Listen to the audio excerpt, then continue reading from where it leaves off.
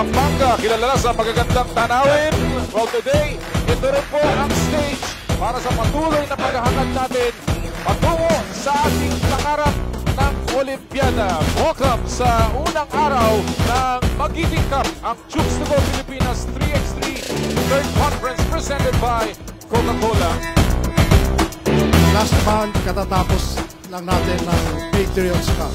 Nandito ulit kami ngayon because we need high-level tournaments.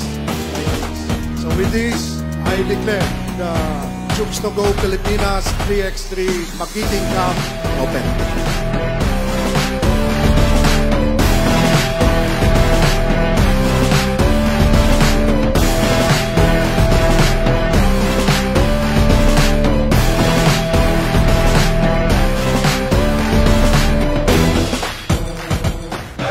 To all the players, play hard, play clean, have fun.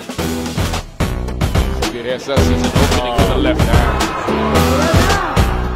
What a pass there. Joshua Monzon. Oh!